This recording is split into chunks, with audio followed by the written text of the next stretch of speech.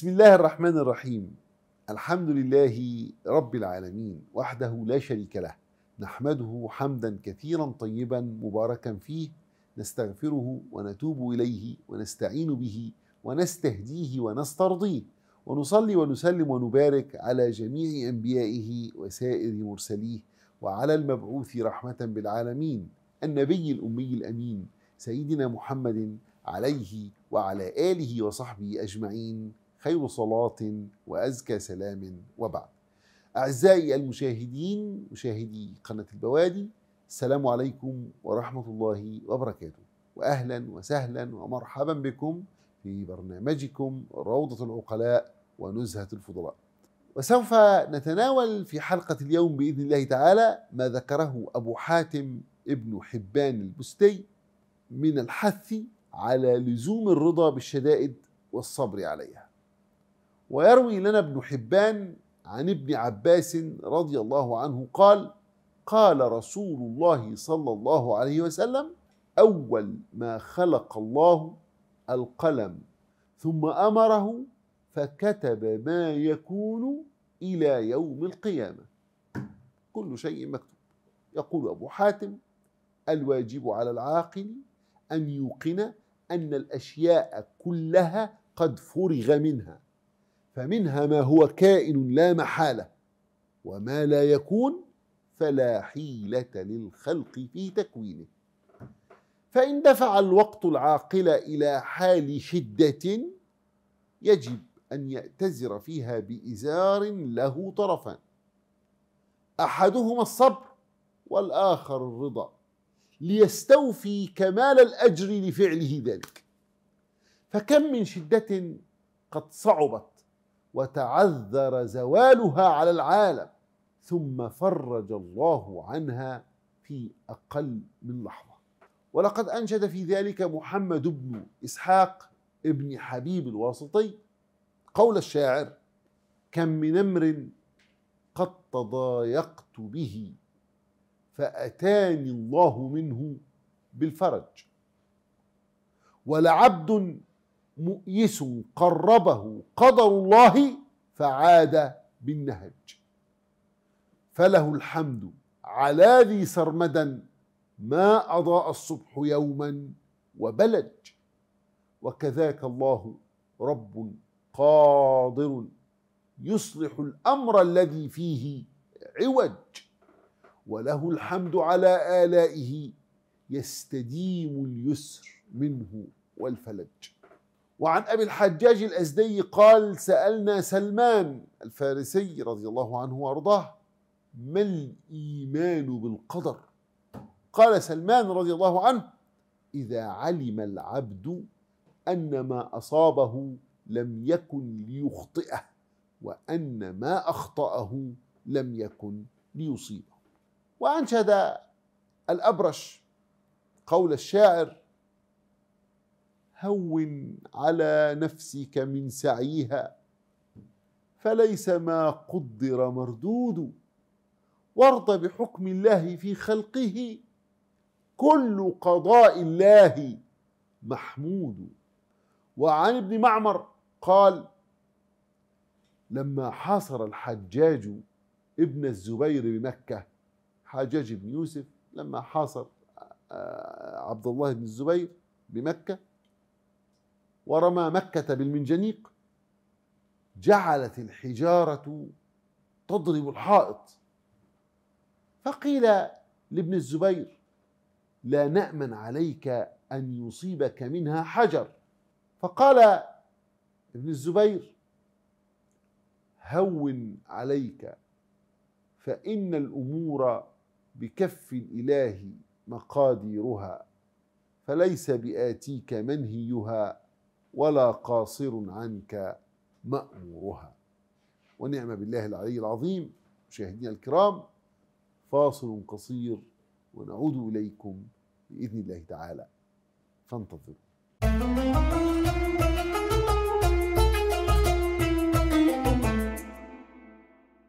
من جديد نعود إليكم مشاهدينا الكرام ومع أبي حاتم البستي يروي لنا خبرا طريفا عن سفيان عن مسعر أن رجلا ركب البحر فكسر به انكسرت السفينة فوقع في جزيرة من جزائر البحر.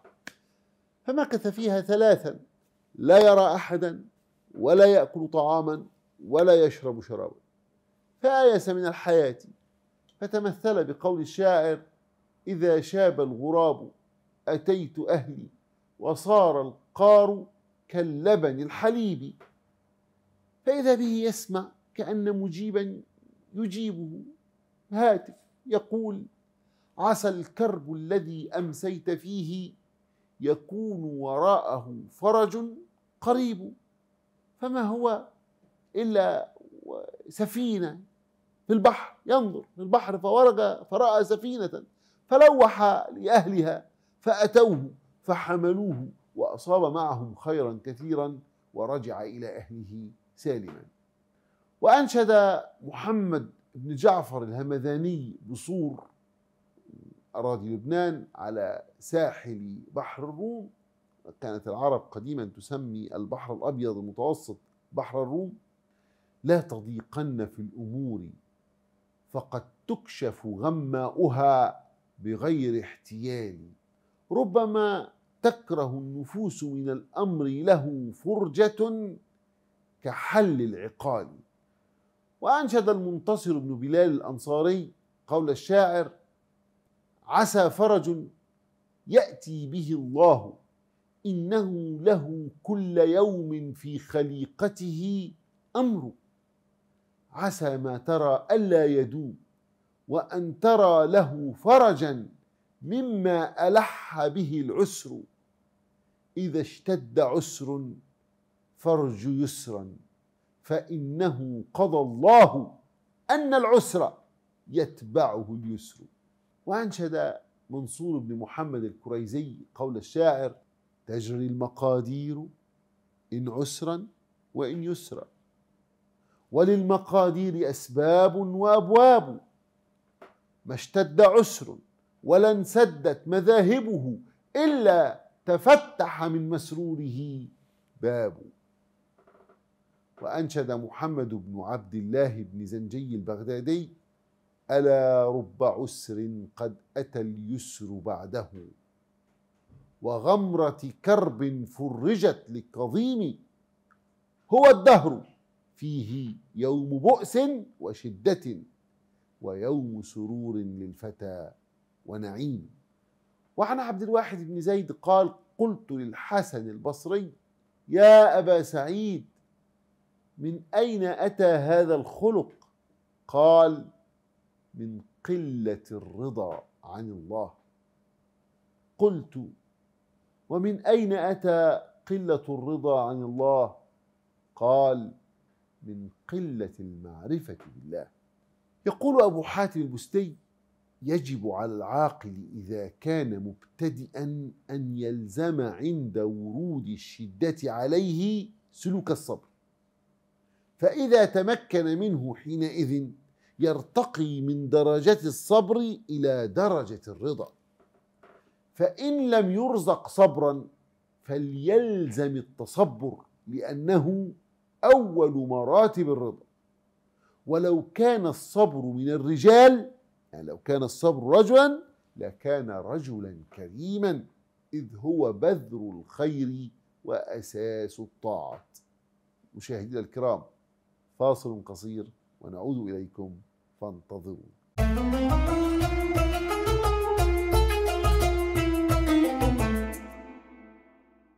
يروي لنا أيها المشاهدون الأعزاء أبو حاتم البستي عن سفيان بن عيينة قال سمعت رجلا من أهل الكتاب أسلم قال أوحى الله إلى داود يا داود اصبر على المؤونة تأتيك مني المعونة.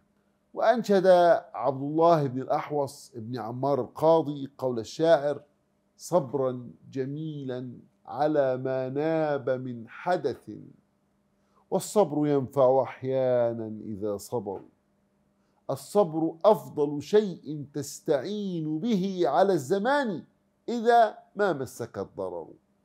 وأنشد أبو يعلى الموصلي قول الشاعر إني رأيت وفي الأيام تجربة للصبر عاقبة محمودة الأثر. وقل من جد في شيء يحاوله فاستصحب الصبر إلا فاز بالظفر. وأنشد عبد العزيز بن سليمان الأبرش قول الشاعر أتاك الروح والفرج القريب وساعدك القضاء فلا تخيب. صبرت فنلت عقبى كل خير كذاك لكل مصطبر عقيب. قال مضر أبو سعيد قال عبد الواحد ابن زيد ما أحببت أن شيئا من الأعمال يتقدم الصبر إلا الرضا. ولا أعلم درجة أشرف ولا أرفع من الرضا وهو رأس المحبة. يقول أبو حاتم الصبر جماع الأمر ونظام الحزم ودعامة العقل وبذر الخير وحيلة من لا حيلة له. وأول درجته الاهتمام ثم التيقظ ثم التثبت ثم التصبر ثم الصبر ثم الرضا وهو النهاية في الحالات.